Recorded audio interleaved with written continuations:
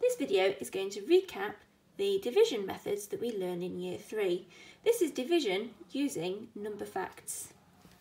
So this question, 12 divided by 4, we need to think about our number facts that we know. If I have 12,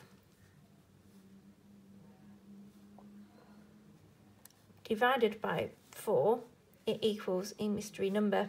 If I think about my multiplication, it will help me with my fact families. So 4 times something is 12. So that means we need to count up in our 4s until we reach to 12. So 4, 8, 12. Oh, that's three lots of 4.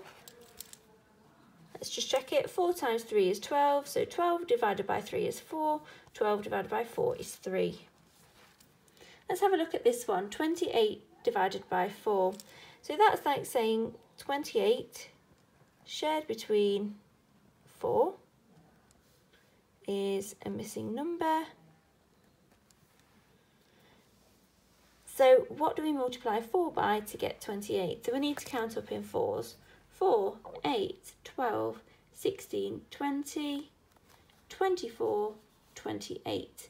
Oh, so that is 7 lots of 4.